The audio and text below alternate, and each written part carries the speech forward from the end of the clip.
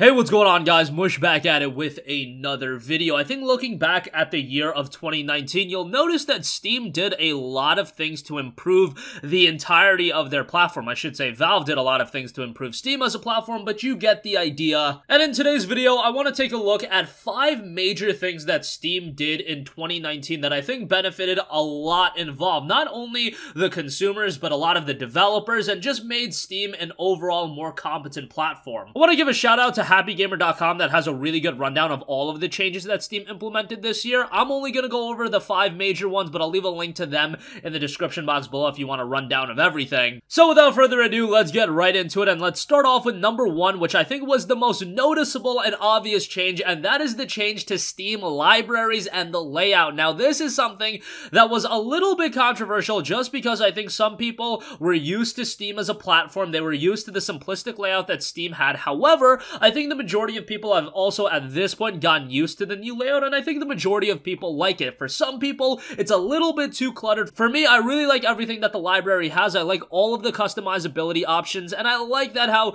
you got a lot of images, a lot of articles posted, and you can change the different layouts. You've got collections. And again, there's a lot of customizability. Customizability has seemed to have been the name of the game this year in regards to Steam, and I think the library changes was a clear showcase of that. Now, the issue with the library changes, I think the older library and the layout of that was established for so, so long. Like, think about with a console, every console cycle, you're gonna get a new layout and people are gonna be introduced to a new design, and that's kind of accepted. However, with Steam, it's been so long with the same layout that it's been more than a generational five to six years with that layout. It's been like, what, two generations? And to change that, yeah, it's gonna be a stark difference right away. However, I think ultimately it's gonna be a lot more pleasing to everyone involved. So Steam library changes definitely the biggest noticeable change that I think Steam has implemented in 2019. Number two, and this is a pretty major one that I don't think a lot of people take advantage of. However, I'm happy that Steam implements features like this that are gonna cater towards a smaller portion of people for now, and that is Steam Remote Play, and more importantly, Steam Remote Play play together. Remote Play came out back in June of this year, and that saw in-home streaming replaced with Remote Play streaming, allowing users to go anywhere with their library.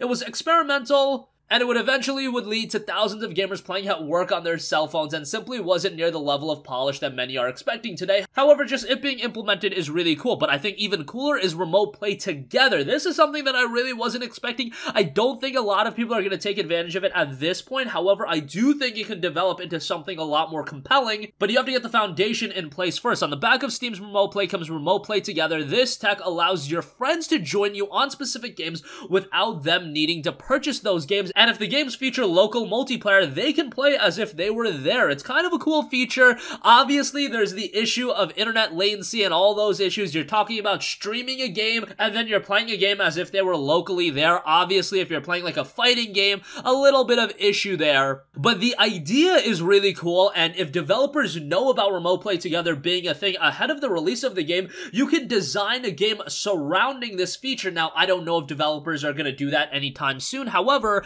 there are other titles that kind of naturally fell into the category of working really well. They branch into split screen when you bring your friend on board for some cooperative play. And some titles can even keep all the action on the screen, party titles like Stick Fight the Game. And again, the only hiccup is if you're not getting decent data reception, which anything with streaming, obviously you gotta have good internet. That's doubly so when you're talking about games. That's doubly so when you're the one that's streaming a game to your friend, and then your friend is also playing the game with you. There's a lot of room for error here, but the idea of remote play together I think is absolutely fascinating, and if we can develop it into it becoming better and better, I do think it could be a standout feature on Steam. Right now, it's not getting the attention, and kind of deservingly so. It's not polished all there. Some people just don't have the internet capabilities, but I think in a couple of years, it could turn out to be something that is quite notable on Steam. Alright, next up, Steam did an overhaul to all of their social features, and this is something a lot of people wanted to see. 2019 saw Steam getting a new overhaul of their social features, and it really needed that. The update allowed a lot of things, favoriting of certain friends on the Steam platform, letting users drag and drop other profiles to keep tabs on what they're playing. Many titles have opted to take advantage of the rework, where the friends list will also update what's going on in your friends' games. Counter-Strike reports what you're playing, and the current score, where Risk of Rain 2 reports the distance covered thus far in your current run. Small updates like this just make Steam a more complete platform, and it just keeps user investment up. And again, if it's easier to see what your friends are playing, it's gonna make discoverability of games easier, and hey, you see all your friends playing it, you see all of the metrics that they're covering, maybe that entices you a little bit more to buy that game. I don't know, just little things like that. It's not like it's taking away anything, it's not like this is detracting anything, but overall, there's no other way that you can see it outside of it just being a net positive and the social features being updated, I thought was a great addition, and more social features like this that keep people engaged to one another, especially in the party and social community that we live in when we're talking about games in 2019 heading into 2020, it just makes all the sense in the world and very happy that Steam implemented those features as well. Alright, so I just talked a little bit about discoverability, however, what was really the biggest factor to discoverability in 2019? That is, of course, Steam Labs. Now, does this have any direct consumer impact? Not necessarily, but it does have the parlaying effect, and this is really efficient and effective for developers that are releasing their games on Steam, which is just as important. The issue with Steam these days is you got a billion games coming out. Okay, maybe not literally a billion, but damn near close. And it's really hard to find a lot of the quality titles. Hell, it seems like every day I'm finding new games that I didn't even know existed. Well, Steam Labs isn't the overall remedy to that issue, however, it definitely is a step in the right direction. It has been added due to the usage of Steam Labs allowing indie titles that never received their share of the spotlight to be found by users of the platform, along with larger titles that may have been temporarily discarded in favor of a better shiny title. Steam Labs is about Valve's developers coming up with an idea and then letting everyone see the result. They typically centered around machine learning and letting users discover new titles that have previously escaped their vision. So obviously, there are gonna be some issues here and there with machine learning, but it's better than nothing. And regarding consumers being matched with their next game addiction, and developers that may have released at inopportune times, which is a real thing. I mean, there are, again, a billion games coming out.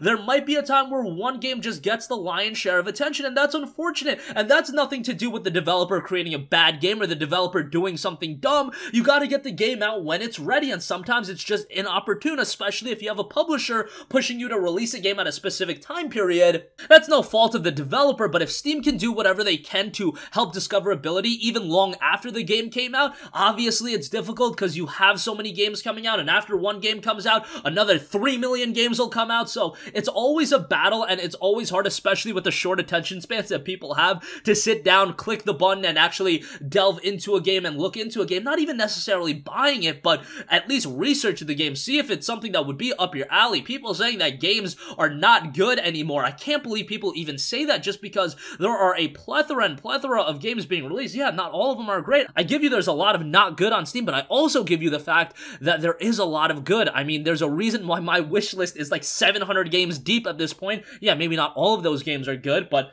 a large portion of them are probably pretty good. And if you offer the users a way to discover the games in an easier fashion, that is going to go a long way, not only for the consumer, but for the developers that's trying to make ends meet selling these games. A lot of these games, man, they're not making a lot of money off of it. And if you can do anything to get these games to the consumer, obviously the consumer is going to appreciate that because they're discovering new games. But from a developer standpoint, that put hours and hours and hours, years even, goes a long way in pleasing both parties. And lastly, here's something that I don't talk much about about, but Steam really made a lot of strides here, and that is Proton and Steam Play. Steam Proton was released all the way back in 2018, however, in 2019, Proton made vast strides in bringing Linux gaming to Linux. Steam Play is the front aspect of Proton, and Proton was built by Steam to open a large segment of games for Linux users. Obviously, it's not going to be every game, Steam has so many games, but more and more high quality and very notable titles are making their way over to Linux, and obviously you have Wine, and that has been the go-to process for years, bring a compatibility layer between the two, but Proton builds upon it, running from the Wine base for facilitation. Proton is built right into Steam, and you've got titles like Nier Automata, Monster Hunter World, and they can all be played on Linux. It is noted, Steam has over 30k titles in their library, 6,000 or so are deemed to be fully playable on Linux, however, this is absolutely going to be a work in progress. If you can make it better and better, and make games more so playable on Linux than ever before, that not only is great for the consumer that does use Linux because now more games are playable. But again, from a developer standpoint, that opens up a new audience to actually play your game, sell more copies, make more revenue. It's a net positive for everyone involved and a great update to Steam in 2019. And that's gonna conclude this video. Again, I know a lot of you guys have had your qualms with Steam in recent years. Maybe because their support isn't the best, which I can definitely agree with. Steam support is pretty terrible at times. However, in 2019, I think it was a year of many strides being made. Again, I'll leave a link to happygamer.com because they do have a very in-depth rundown on a lot of other features that Steam introduced in 2019, and it's a really well done article. And I only covered five, and they have even more there. So check that out if you're interested. That's gonna conclude this video. If you guys have a request for a future video, you can leave that in the comment section down below, and I will catch you guys in the next one. Peace out. Hey, what's going on guys? Mush here again. Hope you enjoyed the video. As you guys might know, YouTube's notification system is sometimes a little bit wonky, even if you're subscribed to the channel. Maybe you're not abundantly aware that I uploaded a video to remedy that situation. Make sure you hit the bell notification button. This way, whenever I upload a new video, and I try to upload as consistently as possible, you will be notified directly of the upload, and you can watch it as soon as it goes live. I would really appreciate if you guys hit that button so you can stay up to date with all the content I'm posting. But as always, guys, thanks for watching, and I'll catch you guys in the next one. Peace out.